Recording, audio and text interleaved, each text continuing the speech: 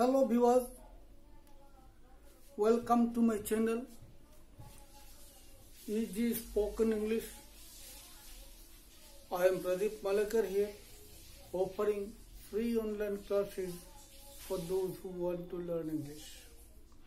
We have been discussing probability and likelihood, how we can express them, and then possibility how we can express possibility. But today we are going to discuss ability, part 1. How ability is expressed. Ability. Let us see.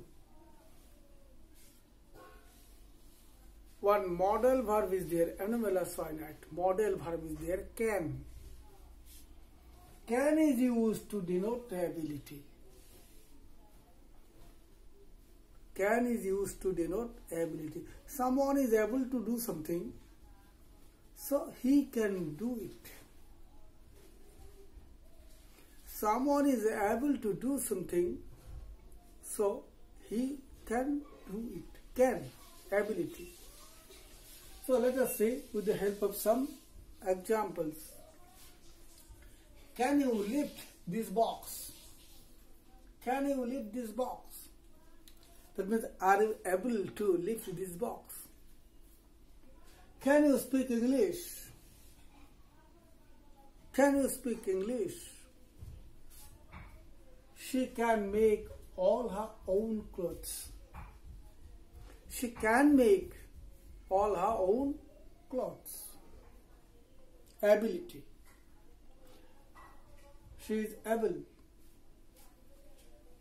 This child is 10 years old but can't read yet. Can't, not able. Can, can't, negative. The child is 10 years old but can't read yet. Unable. Are you in a position to do so? We can use this type. This type of construction to indicate ability.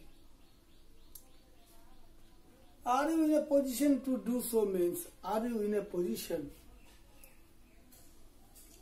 to do so means can you do so? Have you got that ability? Can you lend me 500 rupees? Can you lend me 500 rupees? Are you able? I can hear a dog barking somewhere.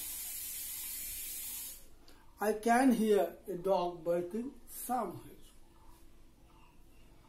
I tried to leave the box but could not.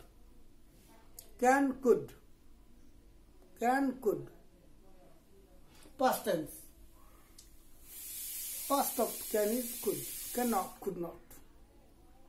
So I tried to leave the box but could not. She said she could not come to the meeting. She was unable to come to the meeting. She could not come to the meeting, she said. She could speak English well when she was only 12.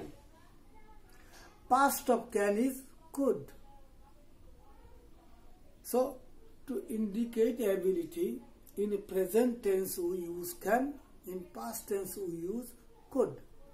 And negative cannot, could not, can't, couldn't. So this is all about ability part 1. We shall proceed to part 2 in our next lesson. Thank you very much for being with me. Please subscribe my channel to get regular updates and share the video so that many others can have it. Many others can enjoy it many others can learn from it. Once again, thanking you. Okay.